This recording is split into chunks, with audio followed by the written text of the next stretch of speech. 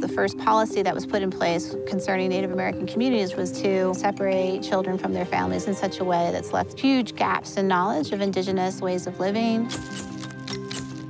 The knowledge that we can pass on through indigenous perspectives and learning is really powerful.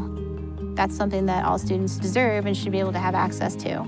And I think the more students can be outside and in a natural learning environment, the more um, successful that they're going to be overall.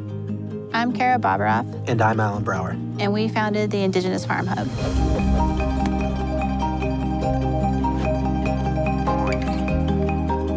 The Indigenous Farm Hub puts Native people back in control of growing their own food and strengthening language and culture in the process. We partner with local schools to bring Native students to our farm so they can learn about sustainable agriculture. Also, they create a connection to the land and help grow food that they can eat during school lunch. We're at the Indigenous Farm Hub in Sandoval County. The students came out today to help pick blue corn and some anasazi beans. We're actually going to be preparing some of the blue corn for other students who may not have had a chance to come out today. We really do believe that there's not one way to do this. Everyone has their own community and their own context.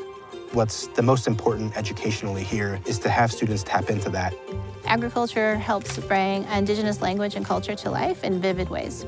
In a classroom, you're sitting at a desk, maybe you're tuning in, but out here, like you're actually doing the work, and it's so something that you take away with you as an actual experience.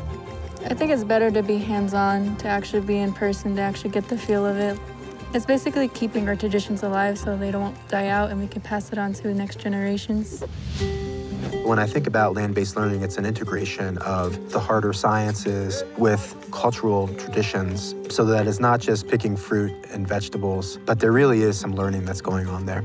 We want students to grow food and get that onto their plates at school. And being able to like do that with your own hands, there's something deeper in terms of pride that I think is grown from that. The Indigenous Farm Hub has been able to share crops with our staff, our students, so that they feel nourished. The food that we serve them has to be nutritious and healthy for them to be able to thrive and to grow and to be able to have brain food when they're here. Every community has the ability to, you know, return to the land, right? To care for the universe in some way. And I think the more that families, educators, and folks who make those decisions can start to shift that, the better off we're going to be as a, as a world.